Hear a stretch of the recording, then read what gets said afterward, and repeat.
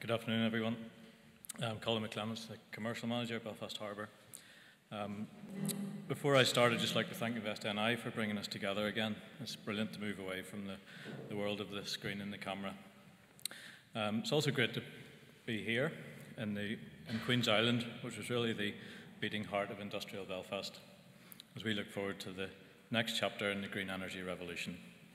The timing's more relevant than ever with everything that's going on in the world, be that uh, climate change, we've had our uh, legislation published locally, energy strategy in place, and conflict in Europe, sanctions and rising costs of energy. The opportunity for us as an island nation to own more of our energy should be met with excitement and a renewed degree of urgency.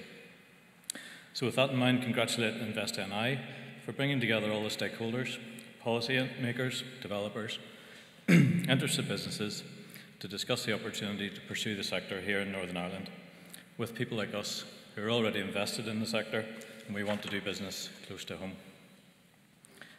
So I'm going to keep it short this morning, this afternoon, sorry. Um, you've already heard from everyone earlier about the scale of the opportunity and the desire to do this. And secondly, I'm holding back a rabid crowd of great local companies who are going to tell you all about their experience in the sector and how successful they've been at exporting their goods and services across the world. So, a little bit about the port. First legislation was passed pertaining to the port in 1613. It was formalised from different trader owned statuses in 1847 with the passing of the Belfast Harbour Act and the creation of the Belfast Harbour Commissioners. We're a trust port and a trusted partner. With no shareholders, we're entirely self funded. We reinvest all our profits back into the business every year. And investments in our sector are large and they're specialist by their very nature. So, being an entity that self funds means that profitability is crucial. We're a world leading regional port. We handle over 25 million tonnes of cargo over our wharfs and quays in 2021. Those 25 million tonnes arrived and left in around 5,000 shipping movements, each of those carrying anything from a few hundred tonnes up to 65,000 tonnes. Our 25 million tonnes is 70% of Northern Ireland's trade. It's the second port in the island and the 10th largest in the UK. And the harbour estate where we are today is a place to do business. It's around 2,000 acres of land and 1,000 acres of water. Our land is all reclaimed and would still be titled mudflats if it wasn't for the interventions of our forefathers. the estate's home to many world renowned and household names Harland and Wolff, Belfast City Airport, Spirit Aerospace, formerly Bombardier, are amongst our largest land users. Titanic Quarter, the Odyssey Trust, and Catalyst Inc. are all based here in Queen's Island and drive forward the evolution as the port moves into digital innovation and tourism and leisure land uses and global companies such as Baker McKenzie and Allen and Overy now call Belfast Harbour an integral location in their businesses. As you can see from the air, a fundamental part of the city, about 20% of the land in the city of Belfast. Our so called traditional port business is made up of several key sectors. In the unit load, that's ferries and containers, we would have up to 10 daily connections with the GB ports of Loch Ryan, Heysham, and Liverpool. And on those sailings, There'll be 600,000 freight vehicles every year and 1.3 million passengers. The remainder of our passengers arrive on up to 150 cruise ships per annum, making us the second busiest cruise port in the UK. And on regular container services, we have connections with all the major European hub ports. We ship over 130,000 boxes in and out per annum. On the bulk side, where we handle larger shipments, we see deliveries of essential goods, liquid and solid fuels, grain and animal feeds, construction and manufacturing inputs such as timber and steel. And as an exporter, we ship out scrap metals and other recyclables. We supply aggregates to the construction and road building sectors in Great Britain and further afield. As a port, our role is not to physically import, export, or trade in goods, but we invest in infrastructure. We build infrastructure that enables our customers to be competitive. I'll take you through a few examples. Warehousing and bulk storage enables large ships to be discharged quickly and returned to sea. The goods are then drip fed from transit storage to customers. We've over 1 million square feet of warehousing in the port, dedicated to housing raw materials such as grain and animal feeds, as you can see in the picture, right through to timber, paper, steel, and finished goods. We have a couple of retail distribution centres for our logistics firms. Specifically designed ramps and berths enable the quick and efficient discharge, docking, and unloading of certain vessels.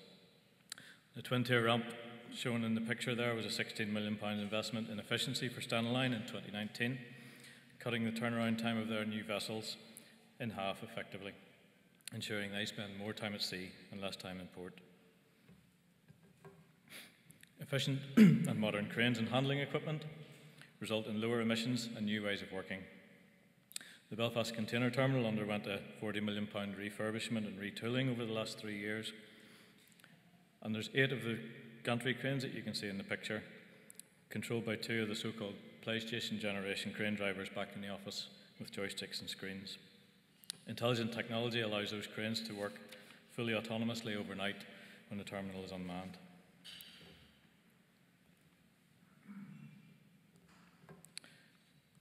But we also need to diversify. As a business which has traditionally managed a significant throughput of imported fossil fuels, the transition to electrification and renewable energy will undoubtedly reduce the scale of that business. So we diversify our investments in line with key strategic objectives decarbonisation, smart initiatives, and creation of an economic hub, as well as our core port objectives. So, in the past 20 years, we've seen changes such as this. Seacat ferries docked on Donegal Quay right up to 2005. Today, 1,500 workers are based there in modern, sustainable, grade A office accommodation, with a new hotel and multi story car park to complement the spaces. We've expanded outside of the harbour estate and into Giants Park, creating Belfast Harbour Studios. These have been home to productions by industry heavyweights such as Warner Brothers and Netflix. And with our partnership with Titanic Quarter Limited, we've realised opportunities to improve our tourism offer, accentuating our maritime heritage and contributing to the City Council objective of increasing the number of people who live in the city centre. That's just some of the many stories of Belfast Harbour, and we'll now focus on our offshore wind story.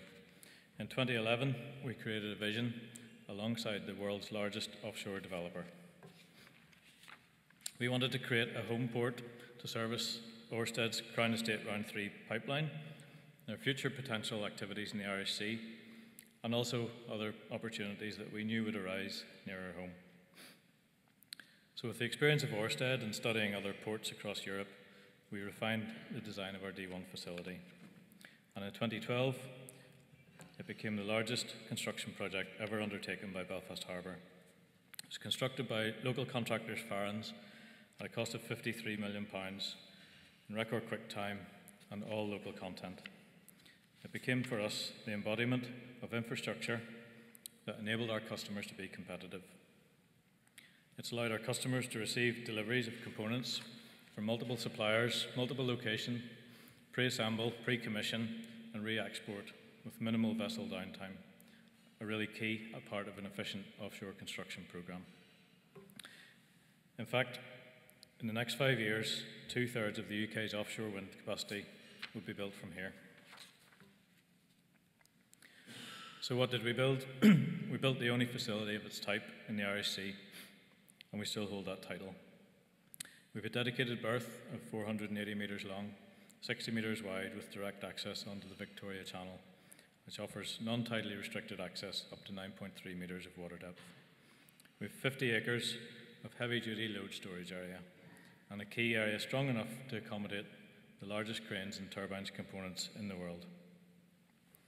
The site offers flexibility of use depending on our clients' needs, including the ability for clients to accommodate both foundation and turbine contracts at once. All, all areas of the berth are suitable for jack-up vessels thanks to the stone reinforcement in the seabed. And we've even mixed wind turbines and cruise passengers.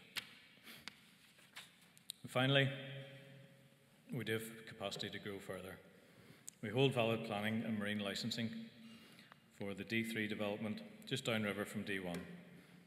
It will offer further port capacity and opens up access for further hinterland storage. And while the demands of the port business are unlikely to permit it to be a wind only berth, it will be a critical piece in the port jigsaw and can offer supplementary capacity when required. We also have further opportunities to develop spaces and schemes for related supply chain solutions. As a trust port with proven capability, we look forward to playing our part in the next energy revolution. And just to close, I'd like to thank you again for being here today. Thank you for your interest in the offshore wind sector in Northern Ireland.